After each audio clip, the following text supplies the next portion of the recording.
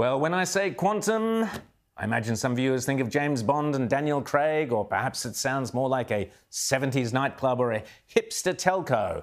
But what it really means is that the future of quantum physics has now arrived. This morning, it was announced that the team led by Professor Michelle Simmons at Sydney's University of New South Wales has made a quantum leap in quantum computing and announced the world's first integrated circuit manufactured at the atomic scale. This technology is expected to totally transform the way in which we store data, process information, and develop technologies. And I'm delighted to be joined by Professor Simmons, who you may remember we interviewed on Outsiders, Ross and I, back in 2018. She's a former Australian of the Year and the brilliant mind behind this breakthrough. Professor Simmons, great to see you. How are you? Uh, terrific, Rowan. Had an absolutely wonderful day. Well, tell us all about it because a lot of us, you know, you did explain to Ross and I several years ago. Ross probably understood it better than I did, but you did explain how it all works. Tell us what you've achieved. Then you are looking forward to this achievement. Tell us what you've achieved. Yeah, look, it's it's very simple. We've built the world's first integrated circuit at the atomic scale. So what what does that mean? Um, if you look at classical computing, you can map out the invention of the first transistor in 1947. It took about 11 years to get an integrated circuit where they put lots of components on a chip. Um, still didn't really know what to do with that chip. It took them another six years before they made commercial devices. And those devices were calculators and hearing aids, very small devices, before we finally got computers that we all use. Now we're going to the quantum regime. We're making devices that are very small that allows us to do calculations in parallel, so solving problems real time that otherwise would take thousands of years. But to get there, we've got to go through the same journey. So we made our first single atom transistor um, in 2012. In 2021, so actually two years ahead of time, we made our first integrated circuit at the atomic scale. And so that was predicted to be, you know, eight years later, as in the classical industry, but we, oh, sorry, 11 years later, as in the classical industry, but we got it in nine. And so now we know within the next five to six years we'll have commercial devices. We will start to solve problems using those quantum states.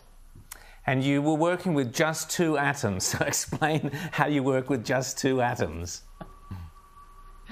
So yeah, the, the whole um, device itself, the actual processor, is made with two types of atoms. It's made with silicon atoms and phosphorus atoms. So there's no more than two. Uh, there's lots of atoms in the actual processor, but just those two different types of atoms. So it's quite a unique approach that we've pioneered here in Australia over the last 20 years. And uh, just to prove, Michelle, that I've got a little bit of the geek in me, how do you mimic a molecule called polyacetylene? I blew it, I blew it, I'd rehearsed that as well. A molecule called polyacetylene. And why would you do that? Why would you mimic it? yeah. So polyacetylene is how you say it, but that's fine. That's good, yeah, thank the, you. I guess I the key thing is, you know, um, if you go back, you know, to the 1950s, Richard Feynman, a famous physicist, said, you know, you, you won't be able to understand the way the world works, how nature works, you know, the whole world around us, unless you can build it at the same length scale. And so that means that what we've tried to do now, we can put atoms in place that literally will mimic the single and double carbon bonds of a, an organic molecule, polyacetylene. That's what we set out to do. The reason why why would we do that? And that's really because, you know, even though classical computers are incredibly powerful, they find it very hard to calculate all the interactions between the electrons and atoms when you get above 20 atoms. So already at 20, it's like hard for classical computers. But if you could actually mimic it and make it inside a quantum system, then you can actually simulate exactly how it works. And that allows us to go all the way, way beyond what classical computers can do. So, Michelle, tell us the, you know, the, the applications. How will the rest of the world, they'll look at you and they'll go, Professor Simmons has done this in, in Sydney. Uh, so what's what happens next, and how? What's the commercial applications or the scientific applications, and what are the products, I guess, ultimately, or services we could be looking at that are directly related to these developments?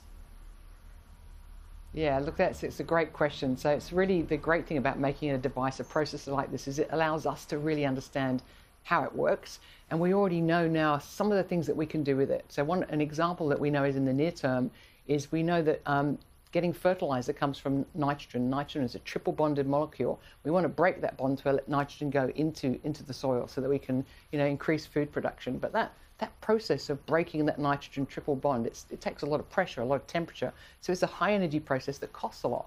Um, so if we can find a different molecule, use our processor, our simulator, to simulate a different catalyst, we'd be able to break that bond, and that would in increase food production.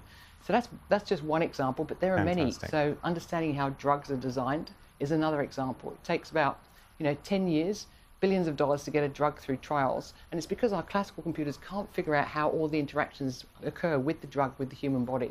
But if we can simulate those drugs, we'll be able to get much closer in time and get those products out to people. Uh, Professor Simmons, fantastic work. You must be extremely excited. I hope you're going to celebrate this evening. Uh, great work, and uh, what's next?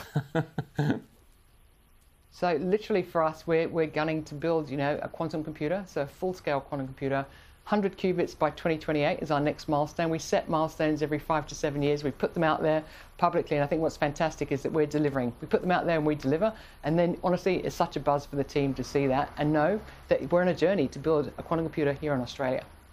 Fantastic. Always great to have great Aussie success stories. Professor Michelle Simmons, thanks so much for coming on the Bolt Report this evening, and great congratulations. Thank you, Ryan.